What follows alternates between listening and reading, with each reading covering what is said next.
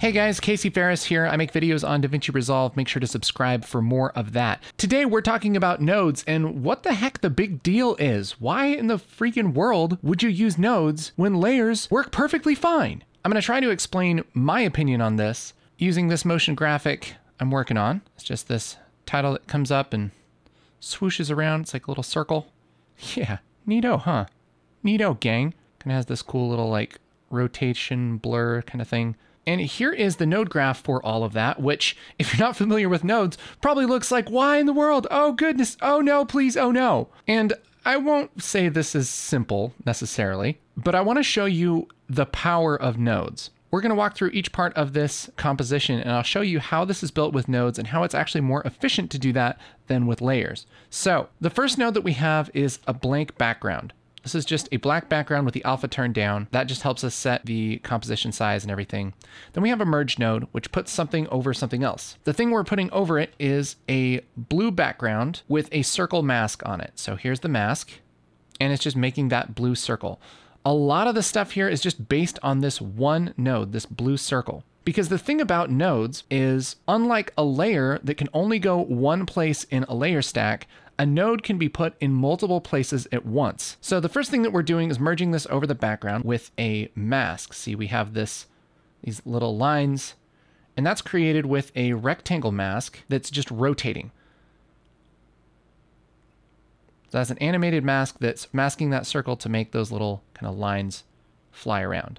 So this is what we got going on so far. We're putting that circle over the background and then masking it with this rectangle. Here's where things get really cool. Let's say we want to do this same thing, but we want these little lines to be white. What you would have to do if you are compositing with layers is duplicate this layer and turn it white and then put it over everything else. So let's try and build this part with layers. Over in After Effects, I have this somewhat built here. And we're gonna start out with, we can start out with our shape layer that's just a circle. And then I have a matte that's on top of this that rotates. You could also use a mask right on the layer, but it's easier to rotate things with a separate matte, which is why I use that for this kind of animation. And we have to set this as a track matte, which I'll set here in After Effects. And then that gives us that little animation that we're looking for. So that's great. That's made with two layers, the circle and the matte. Let's say we want a white circle on top of this. What I did was duplicated this circle layer, went into its properties and adjusted the stroke to be white.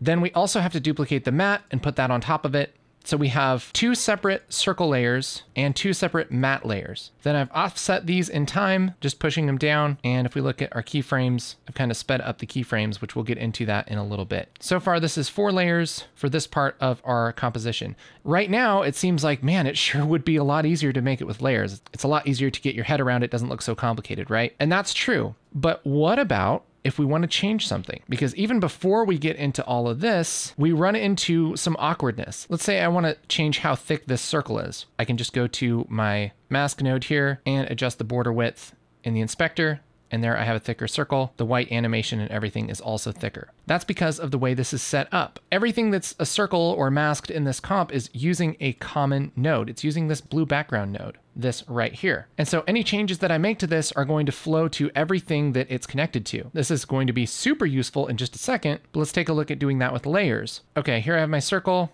And let's say I want to make the stroke 40 instead. I could do that, but then I have to go and select my other circle and switch that to 40. Not that big of a deal to change a couple layers, right? But it is literally twice the work, which when you get into a really big comp might be frustrating. Let's take a look at our next layer, which is just another blue animation, like blue lines kind of moving around. Here in After Effects, we have another circle, blue lines here, but those aren't thick enough. So we have to go up to stroke and thicken that up. Not that big of a deal, but you know, again, something else we have to do. Um, let's say that we want to change the color of this. We want this to be a green circle instead. I'll have to select my circle layer and go to stroke and we'll turn it green. To make sure that we have the same color, I'm gonna copy and paste this hex code. I'll go over to our next circle, open that up, stroke and paste that hex code. So now I've changed that to green. Had to do that for two layers. That's fine. Over here in the nodes, if I want to change this to green, I just select the background and make it green and everything changes because it's all using one node. Let's take a look at this other part of the comp. What we're doing is taking our same circle and we're scaling it down a little bit with this node. We're adding some distortion to it like this. and then we're blurring it, and then we're putting it behind everything else. So to do that with layers, I have another layer behind and this has two effects on it. It has turbulent displace and radial blur. And if I were building this step by step, I wouldn't have to do this, but I do have to change this to that green and also up my stroke in order to keep things looking consistent. So now we have the circle behind the other lines and we also have to take this scale and bring it down a little bit, something like that. And so now we have one, two, three, four, five, six layers for this composition. And now let's say I want to take this and I want it to scale up. So this kind of starts really small and then boom, comes up like that. That's a transform node in Fusion, just animated. Here in After Effects, I made a null object right here, and I can parent everything to that null object, and then I can scale it like this and bring it down to zero at the beginning. And we effectively have kind of the same thing happening, right? So that boosts everything up. So now we have that kind of coming up and doing that animation. Some of this isn't eased, but you'll get the idea. So now let's put some text over it. I have some text here, which has the tracking animated. We're just gonna merge that on top of everything else. Get rid of this node because we don't need it. And there we have our title, right? Not too different in After Effects. Same thing, put the text over it and we have our title. So we're looking at this and it's pretty similar, right? We have 10 layers and over here we definitely have more than 10 nodes. So if you're looking at just the ease of look at all these nodes versus look at these few layers, you'd probably go, man, layers are so great. The problem is the main factor isn't how many things are on screen. It's how easy they are to use and change and share with other people so it makes sense. If I were to give you a screenshot like this and say, okay, what's happening here? You could guess that there's some circles that are being matted somehow and there's some text over it. Looks like things are parented to something that's scaling. One of the circles is white, but you wouldn't necessarily know that, well, the smaller circle actually has a couple of effects on it. You also probably wouldn't know that these mattes are the same exact matte. You probably wouldn't know that these circles are all based on the same kind of circle. You could look at this parent and link menu and see which ones are going to scale, but you kind of have to read through every line and it's really easy to kind of miss a line. Look over here at the nodes. It looks a little confusing at first, but really, if you take it step by step, okay, we have a background and something's being merged on top of that. It's some kind of background with a mask on it. And that same background and same mask is being used multiple times. One time it's just put over things, another time it's color corrected before it's put over things. Then it's put over itself again. And then it's changed a little bit. It's transformed. There's some displacement and some blur on it. That's put on top of itself again. And then look at these down here. What's this rectangle mask? Looks like it's masking this circle every time that it's merged over the background. And this is the same mask, but the timing is changing here and here. And once all of that is put together, everything before this is being transformed somehow. And that's all before text goes on top of it, and it's rendered. You can tell almost everything that's happening in the composition by just looking at the nodes. Again, if I want to change any of the colors, I just go to the background, boom, change the colors, I'm done, right? It's a little bit harder with our layers, which we've already been through, right? Pink, gotta make sure I copy that, and I'll go to our other circle, put that pink stroke in there, this other circle in there, pink stroke. And now we have our colors changed. But that was a lot more work, even for a smaller, pretty simple composition like this. Here's where it gets really interesting. Let's say I want to change this a little more. Maybe I don't want this as thick. I'll just grab the ellipse mask, just bring my border width down, and everything's fixed already. But now maybe I want this to rotate the other way. I'll just go to my rectangle mask. I have my angle rotation. I'm just gonna make this minus 270. And now everything's gonna rotate the other way. That might not be something you'd normally change, but stuff like that is no problem, takes two seconds. What if we want to change those things in the layers?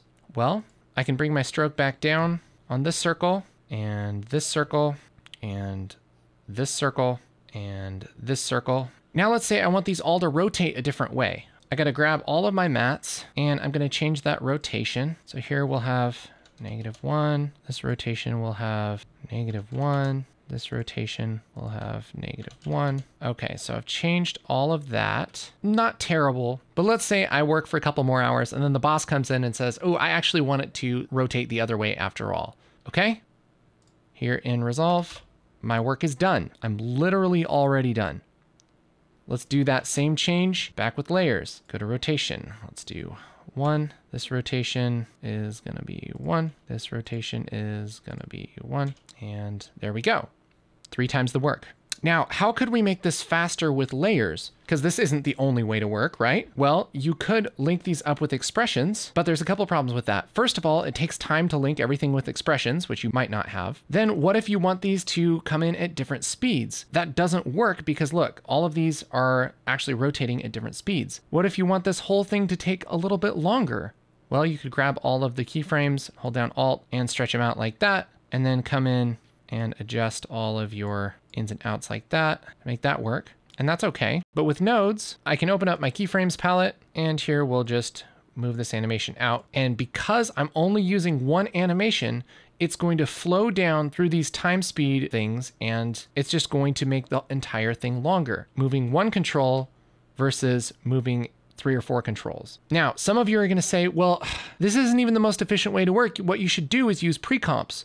Okay, we could do that. Later down the line, once I realize that I want to reuse this circle a lot, I can hit Control Shift C and pre-comp this circle, and I'll duplicate it and put this here and I'll duplicate it and put this down here. Of course, I'll need to copy and paste all of my stuff into my new comps. I'll also have to reanimate everything and adjust the timing. Let's see, this white circle, we'll grab that and we can add a color correction effect, like take down saturation like that. Of course, now we have to offset that. Got to set my track mattes. Now we pretty much have to redo all of our work um, in order to set those up to be duplicates of this. Then we have to grab everything and reparent it to make sure that it's going to scale right. Set our track matte. Oh yeah, we should have copied our effects because when we delete this layer, it also deletes all the effects. And so now we're about back to where we were.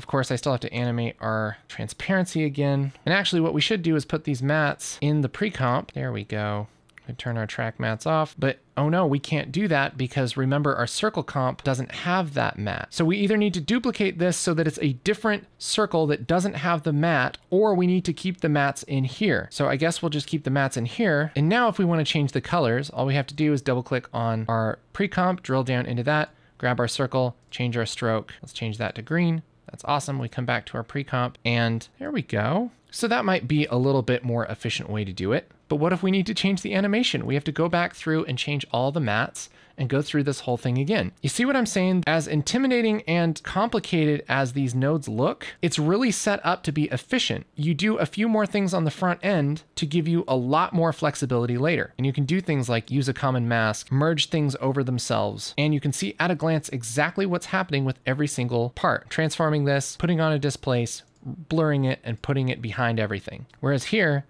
you don't know what the heck's going on. So there you go. That's nodes versus layers. I hope this has felt like a fair comparison. I've worked quite a bit in After Effects. I've used After Effects for years. And the first time I saw nodes, I thought they were the dumbest thing in the world. But after compositing with nodes for just a little bit, I've noticed the power and the simplicity that you wouldn't think would be there when it comes to using nodes like this. I hope this has been helpful for you. If you want to learn more about nodes, check out this video right here. This one. This is the one.